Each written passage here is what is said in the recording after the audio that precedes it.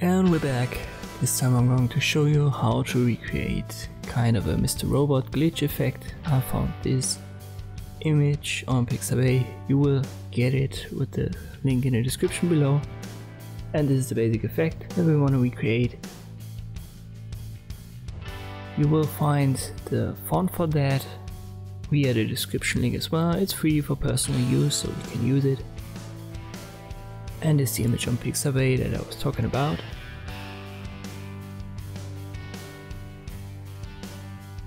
Let's start.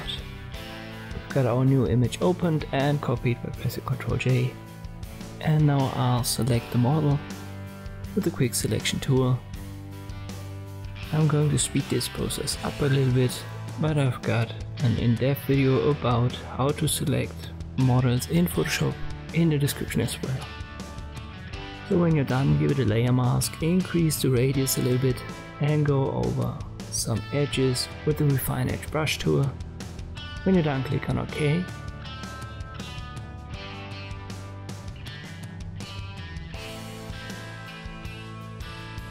In this case, we need to go over some areas with the brush tool as well. Make sure you paint on your layer mask, activate the brush tool and use a white foreground color to reveal and black to conceal. And I'm going over these edges and make the selection a bit better. So now that looks good. We're going to copy what we've done here once and now I'll create a new layer beneath it that I call background and I'll make it white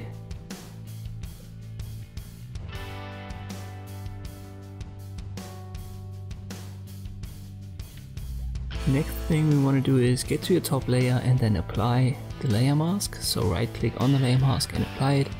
Then right click blending options and there you find the channels. Get rid of the red one. Click on OK. Now we use the move tool and move the layer a little bit to the side and now we have the basic 3D effect that we need for a glitch. I'm going to crop the canvas and the layers a little bit it looks fine. What we now need is to create these little glitches.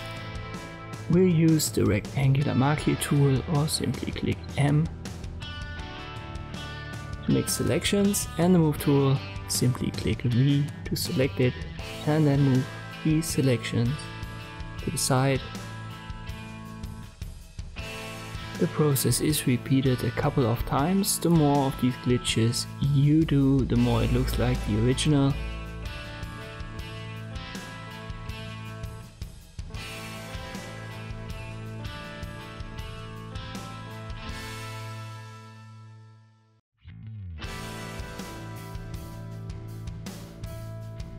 I came up with this one.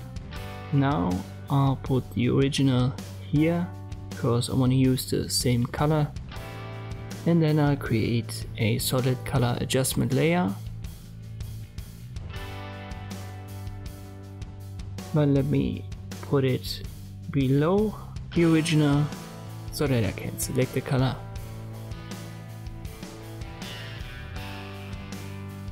That's good I'll delete the original and then I decrease the opacity of the adjustment layer. Let me put it right beneath our original copy 2 layer. So above our model selection and I think that this opacity looks good. Now I'll create a new layer for our text. It simply says Mr. Robot in this case. It's the font that I have shown you at the beginning of the video. It's simply called Mr. Robot font. Where is it exactly? Let me search for it.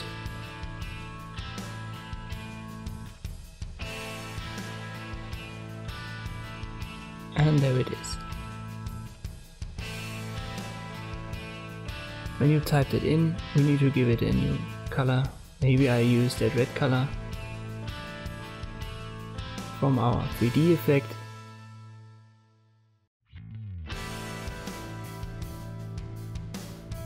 Then press Ctrl T, transform it, hold shift to rotate it properly. And then reposition it, make it a bit bigger or smaller so that it fits the side. And we're done. This is the basic effect. Of course, the more time you put into these little glitches, the better the results will look. You can even put a texture on top of it with a blending mode that fits it. But this is how it's done. Thank you for watching and I'll see you next time.